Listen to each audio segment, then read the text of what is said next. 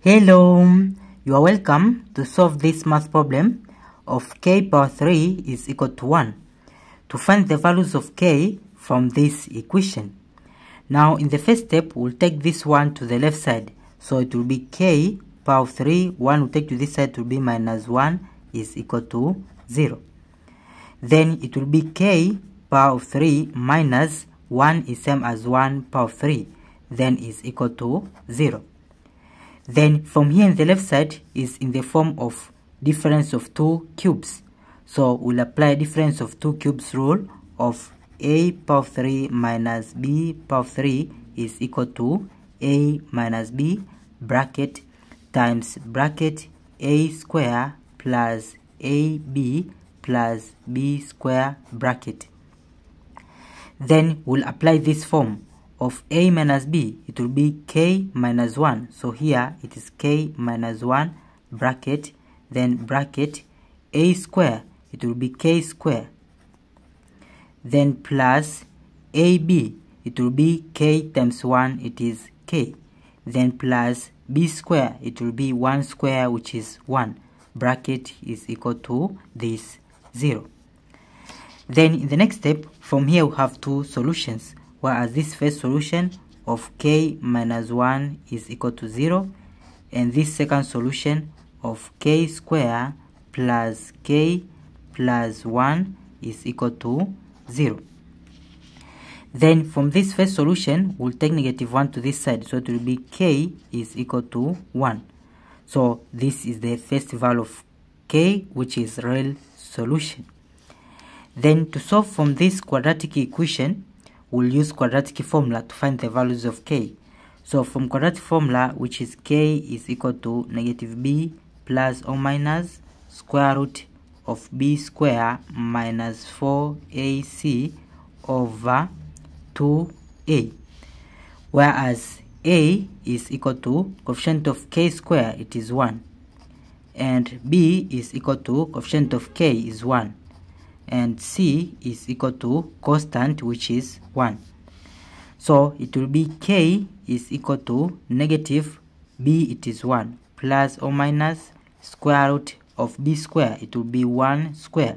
Then minus 4 times a is 1 times c is 1 then over 2 times a it is 1 then it will be k is equal to negative 1 plus or minus square root of 1 square, it is 1. Negative 4 times 1 times 1, it is negative 4.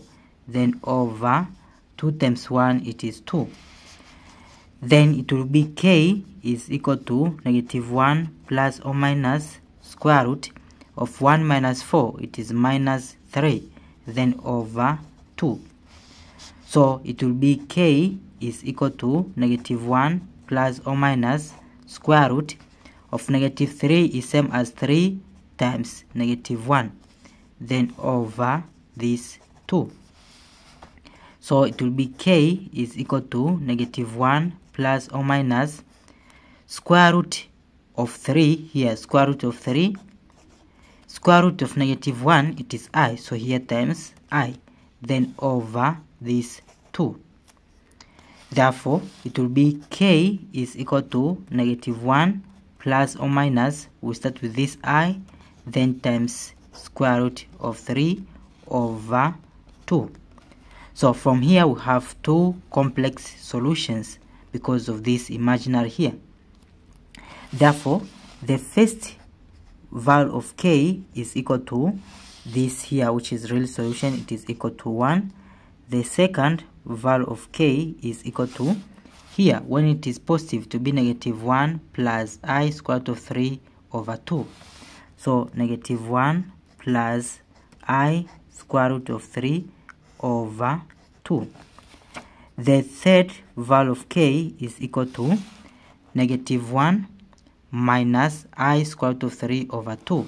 So here negative 1 minus i square root of 3 over 2. So we have one real solution and two complex solutions. So these are all the values of k in these our problems. We have three values of k.